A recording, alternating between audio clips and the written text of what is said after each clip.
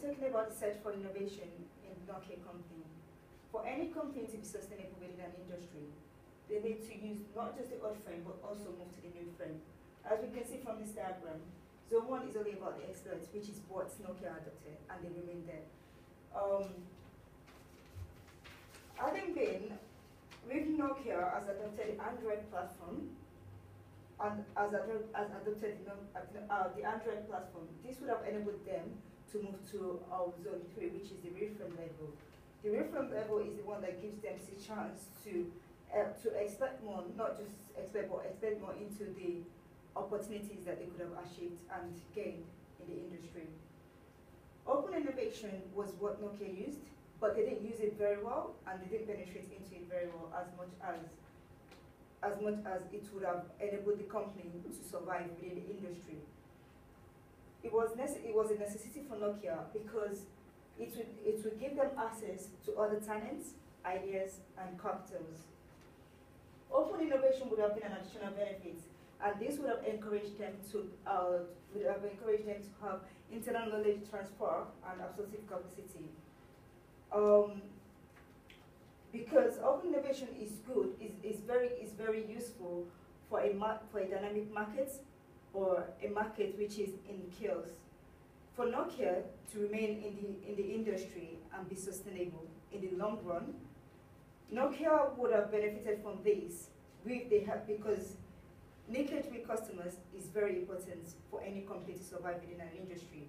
Nokia didn't do this. They didn't put uh, they didn't put their their, custom, their customers and also the threat of new entrants into consideration when they were searching for their innovation, innovation techniques.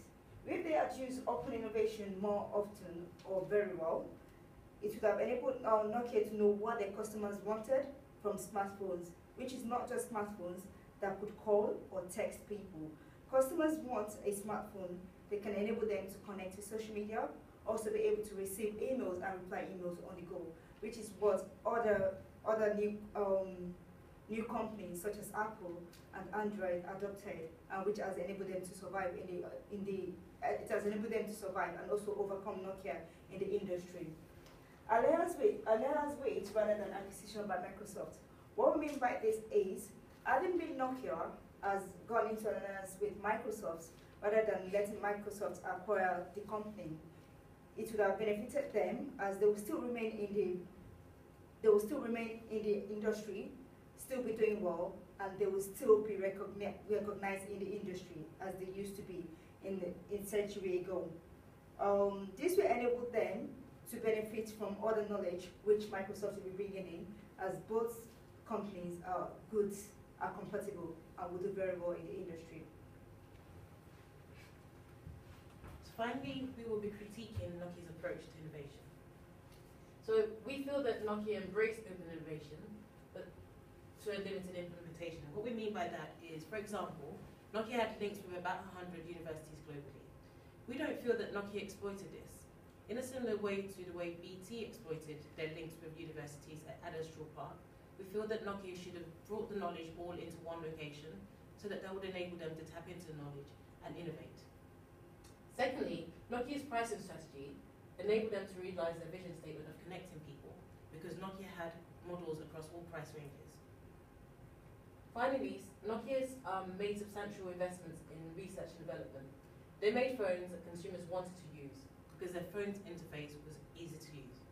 Nokia is also credited with building the first cell phone in the mid-1990s, as well as developing a valuable patent portfolio along the way. Unfortunately, Nokia did not invest in effective marketing strategies, which wasn't compatible with their um, substantial investment in research and development. Also, Nokia's failure to um, adapt or to introduce the Android platform was a loss of opportunity. Nokia phones were renowned for being easy to use. The Android platform is also renowned for being easy to use, and we feel that had Nokia identified that these two um, were, were compatible, Nokia would have gone onto the Android platform rather than Windows, and we feel that this would have allowed them to remain in the, the industry if not be successful. Also, although Nokia wanted to connect people, they didn't have a clearly defined STP. STP is segmentation, target, and positioning. We feel that Nokia's um, Nokia's aim of connecting people and providing or producing phones for all segments didn't allow them to identify who their core segments were. Had Nokia done this, they could still have been making phones for all market segments while concentrating on segments that would allow them to remain in the industry. Unlike Apple, who make phones that were clearly very expensive, not, um, Apple products were desired by all, even people that couldn't afford them cash down. Because Nokia didn't adopt a similar strategy, it meant that they couldn't stay in the game when bigger players such as Apple and Samsung came along. Finally, Nokia was too focused on cost instead of technology, which is incompatible with the mobile phones industry. The mobile phone industry is very much technology and innovation reliant. Unfortunately for um, Nokia, consumers will punish um, brands who fail to innovate and to innovate quickly. And unfortunately, this we feel is what led to the demise of the Nokia brand. Thank you very much for listening.